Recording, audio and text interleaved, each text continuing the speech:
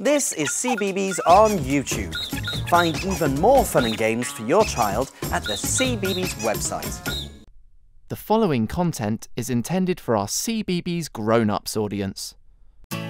By playing fun, everyday games with your child, you will help them match one object to another object. Matching games help reinforce one-to-one correspondence, where one object matches another object. Yeah. That's a tumble tap snap. Good. Well done. Matching games are great fun to play. Go to the CBeebies website and search for Tumble Tap Snap under Games.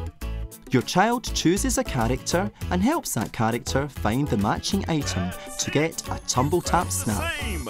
Good work. That, das really Why not have a teddy bear's picnic with your child, giving each teddy a cake Very good. or a game of dominoes? Five or a one. Here are some top tips for matching one object to another object. Play the Tumble Tap Snap game on CBeebies together. Host a teddy bear's picnic and give each teddy a cake.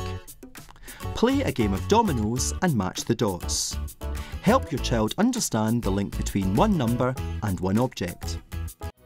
Find out when we add new clips and build a playlist especially for your child by subscribing for free to the CBeebies YouTube channel.